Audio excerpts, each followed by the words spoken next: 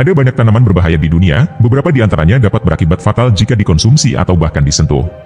Berikut beberapa tanaman paling berbahaya yang perlu diwaspadai. 1. Water Hemlock Water Hemlock adalah tanaman tinggi berdaun yang ditemukan di daerah lembab di seluruh Amerika Utara.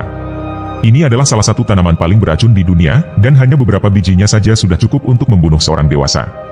Racun dalam water hemlock dapat menyebabkan muntah, kejang, koma, dan kematian.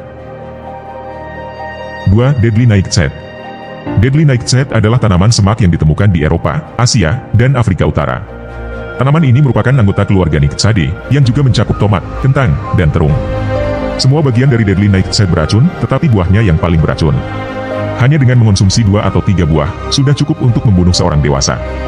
Racun dalam deadly nightshade dapat menyebabkan halusinasi, pupil yang melebar, dan denyut jantung yang lambat. 3. White Snake Root White snakeroot adalah tanaman berbunga tinggi yang ditemukan di Amerika Utara.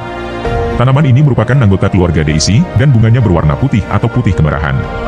White snakeroot beracun bagi hewan ternak, dan juga bisa beracun bagi manusia. Racun dalam white snakeroot dapat menyebabkan muntah, diare, kejang, dan kematian. 4. Castor Bean Castor bean adalah tanaman semak tinggi yang berasal dari Afrika. Tanaman ini dibudidayakan karena minyaknya yang digunakan dalam berbagai produk, termasuk cat, plastik, dan pelumas. Biji tanaman castor bean juga digunakan untuk membuat minyak jarak, yang merupakan obat pencahar. Namun, bijinya juga beracun, dan mengandung racun yang disebut ricin. Ricin adalah salah satu zat beracun paling mematikan yang diketahui bagi manusia, dan hanya satu biji saja sudah bisa menyebabkan kematian. 5. Rosariti Rosariti adalah tanaman menjalar yang ditemukan di daerah tropis dan subtropis di seluruh dunia. Tanaman ini dikenal karena bijinya yang berwarna merah terang dan hitam, yang sering digunakan sebagai manik-manik dalam rosario. Namun, bijinya juga beracun dan mengandung racun yang disebut abrin.